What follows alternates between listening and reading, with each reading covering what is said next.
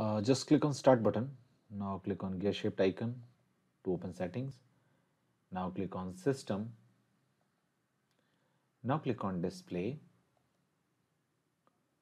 Okay. Now make sure this night light is off. Okay. If it is on, just make sure it is off. Now if this does not fixes your problem, let's move to the next method. Scroll down and find advanced display settings. Just click on it. Now click on display adapter properties for display 1 because display 1 is selected here. Just click on it. Now click on color management tab. Now click on color management. Now make sure this is checked. Okay, use my setting for this device. Okay, if it is unchecked, just check. Now click on add.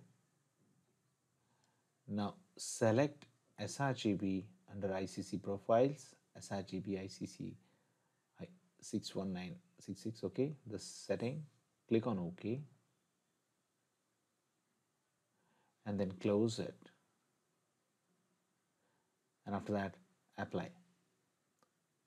This will fix your problem. That's it guys. Please do like the video to support us and thanks for watching the